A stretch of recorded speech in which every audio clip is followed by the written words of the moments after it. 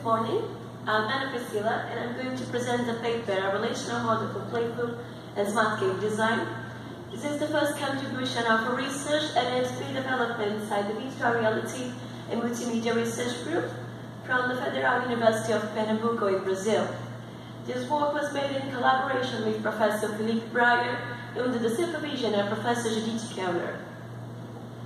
In the context of smart toys and games, we can see a clear connection between two worlds, that of physical or traditional plays such as kids and day toys, and that of virtual or digital plays such as video games.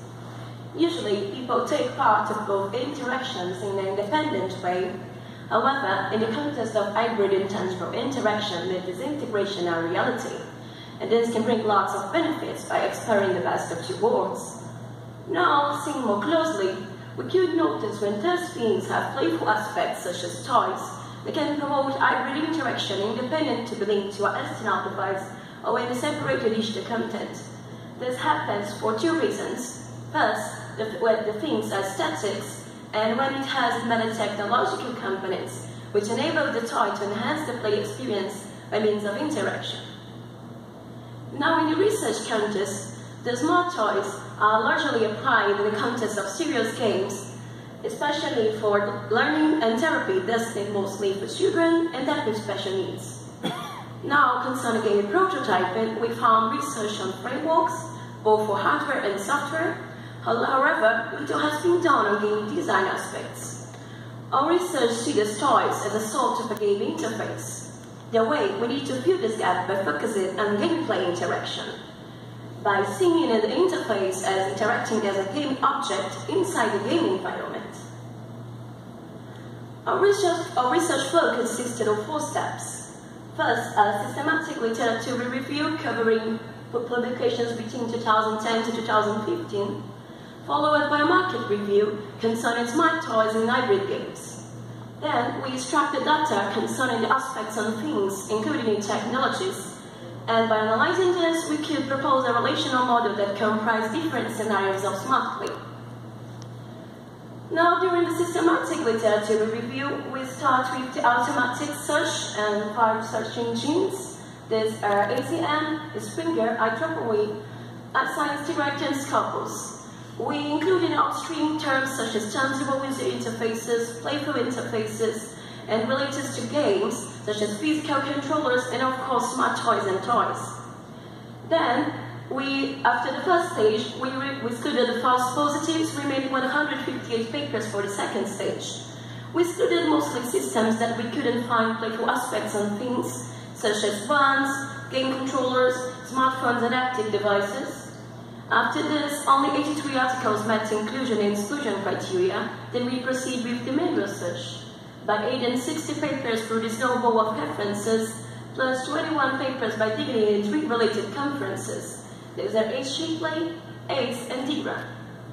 After this, we left with 165 papers for quality assessment, which we evaluate by 14 criteria and a cutoff point of 75%, resulting in 35 selected papers after excluding 5 redundant.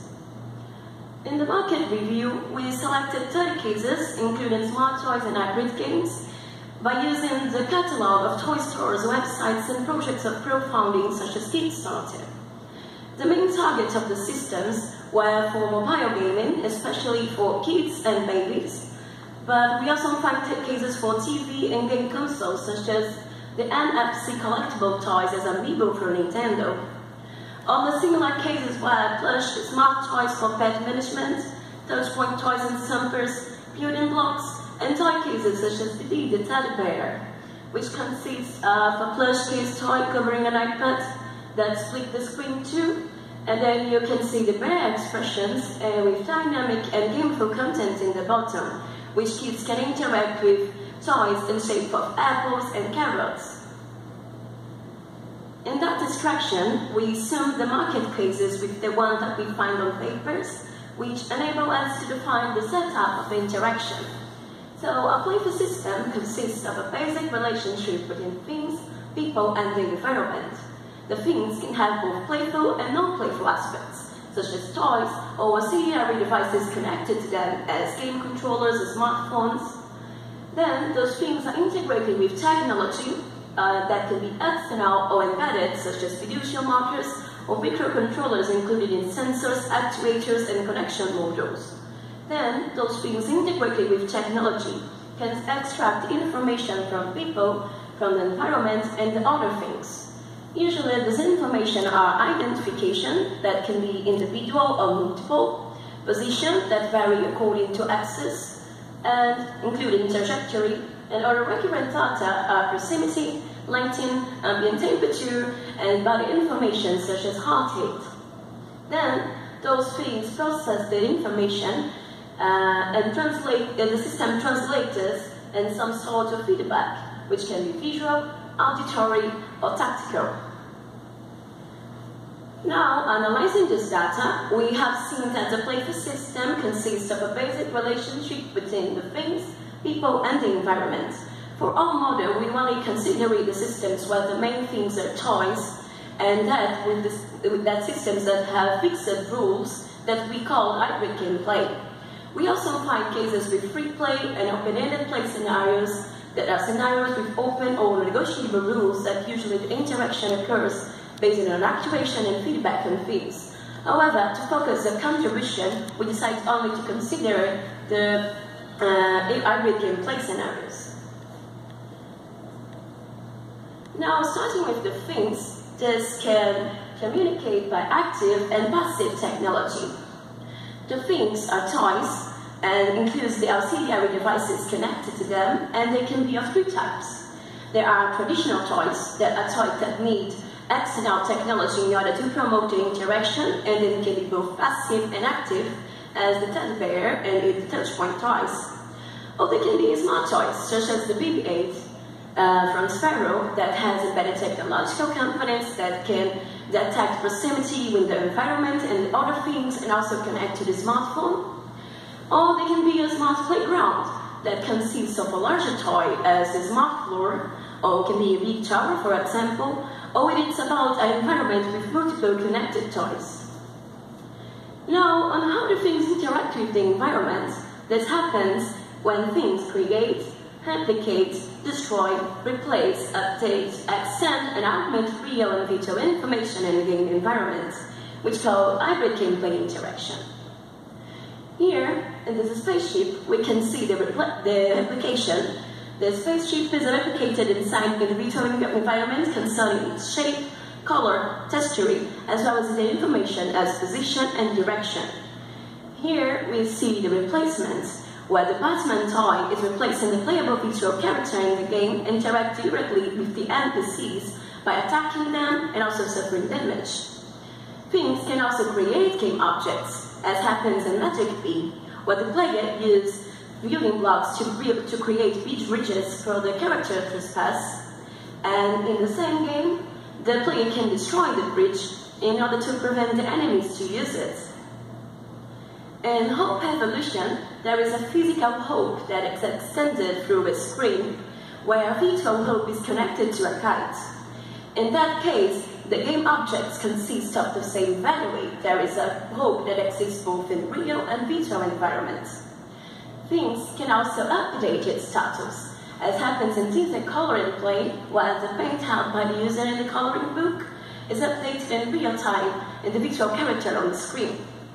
Finally, things can augment the information, usually associated with game rules, as happens in Golem Arcana, where the player uses a smart pen to detect RFID tags embedded in the game tokens, augmenting game status information such as the HP and also the available movements on the board game. Now, concerning only the environment, it can be private or shared. The environment is private when it has access to information including towards separated from each participant, and each sharing has access to information for both players. In the absence of environment and people, we, it, it represents how people are located in the environment, and they can be co-located and remote. People are co-located when they're in the same physical space, and they remote when they're in different physical spaces, but also sharing the same virtual environment. In the last scenario, we have to establish some sort of communication between players, uh, as a video conference, for example. Now, on how people interact with each other, they can do it by competition, collaboration, or parallelism. In Camelot, we can see the three types of social interaction.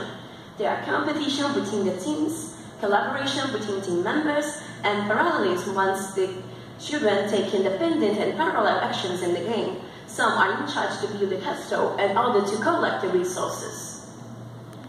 Now, on how the, the people interact with things, they can do it by four general forms, by vision, manipulation, embodiment, and immersion. Usually, people get visual access in all systems. However, in some of them, the focus is to manipulate things or part of things, as happens in Diggly, where the kids use manipulatives in shape of numbers and letters to replace missing information that is required by the learning games. In the upper level, people can interact with the systems by moving their body, and this is called embodiment. In that case, we have Pokemon Get, where the kid had to move his arms holding the Pokeball in order to get with Pokemons. But embodiment is also about systems that distract that body information, such as heartache, for example. Then, people can move their body towards your things or inside larger things or a smart playground. That's the case of the tech towers, where we have four connected tower lads when two players compete. And in the game, during the gameplay, a lad ball is transferred from one tower to another, and then one player has to protect it from the water that's trying to catch it. The way the player moves its body towards to the tower and by running from one to another inside a connected environment.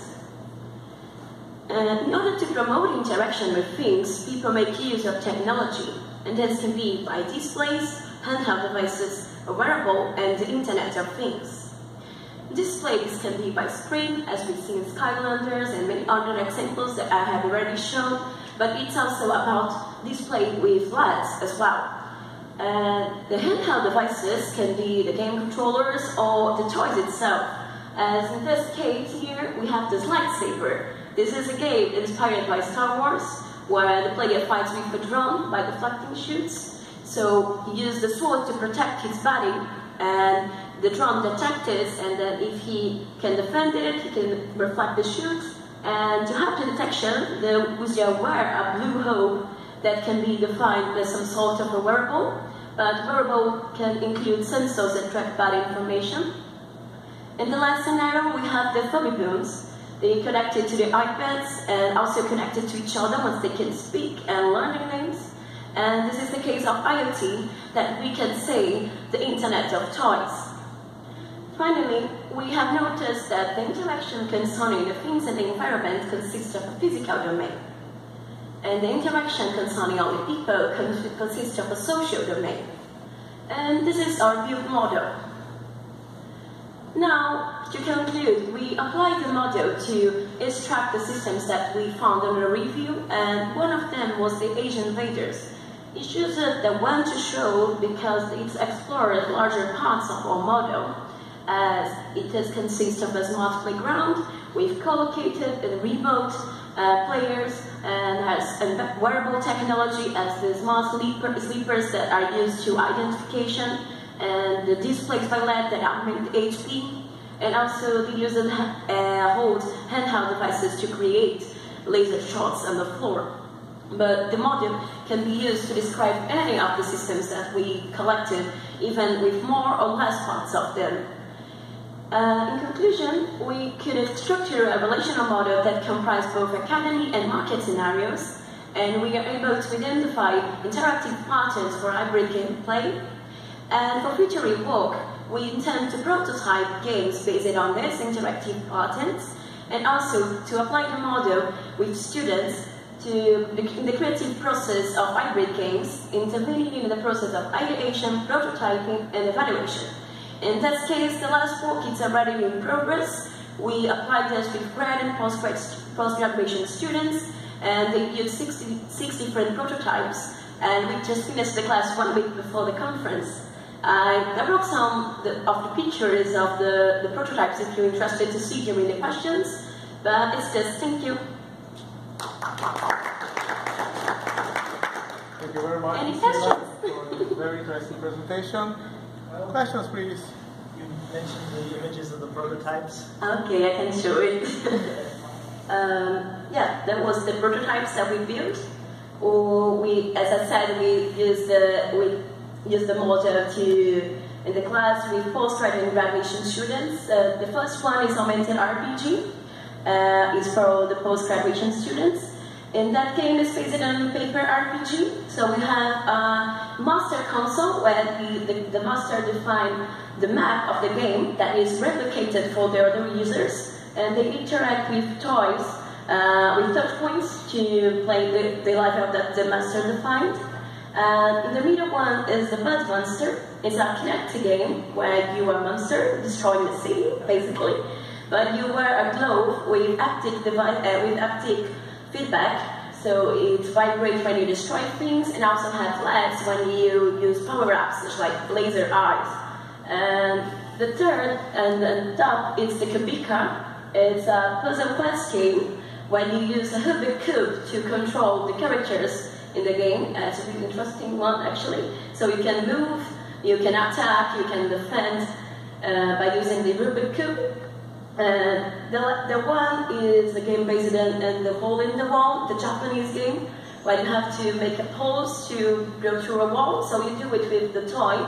And if you lose, it definitely like uh, there is a, a, a small toy that would hear the toy like uh, falling in the face in the floor. And there are buttons that you can use power ups. And we have this game with uh, toys and cards to the power-ups, and uh, augmented board game with small ships that are connected to smartphones, and then you can get private and shared information. Uh, yes, well, that was the prototypes. Any, any other question, please? Thank you.